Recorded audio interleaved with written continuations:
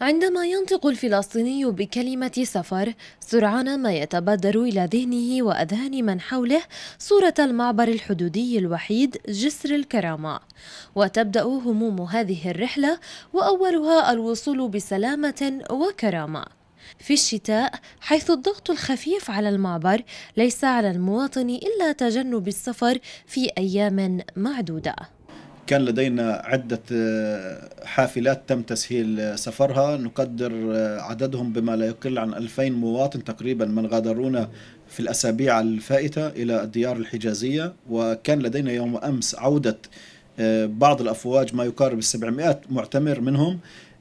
نتوقع في الأيام القادمة وخاصة في الشهر القادم أن يكون لدينا عدد كبير من المعتمرين. وخاصة في الأسبوع في الأسبوع اللي بيصادف عطلة المدارس. عطلة الشتاء أو عطلة المدارس على الأبواب وفيها تكثر رحلات العمرة والزيارات القصيرة خارج الوطن. لذا على غير المتعجل اجتناب المغادرة صباح الأربعاء أو العودة يوم الأحد وهي الأيام المخصصة لقوافل المعتمرين. لازم يكون إنه أحسن وأسهل بالفترة الحالية لأنه في عنا ضغوط ضغوطات كثيره عندنا في في البلد يعني. فلازم تصير حياة أسهل للشعب الفلسطيني. آه، أنا تقريبا يعني لي سنتين ما طلعت بس آه، المرة هاي تقريبا يعني مصلحين الوضع كل شيء تمام. آه، فإلى الأمام يعني إن شاء الله خير. اللي بيتحكم في موضوعنا كله الاحتلال. لو امرنا بيدنا أو بيننا وبين الأردن التنسيق بصير ممكن الواحد يروح بسيارته ممكن ي... يعني بكل سهولة أي وقت بده يروح ويجي بس آه، كمان إحنا الإخوان مش مقصرين اللي قدروا يسووا سووه.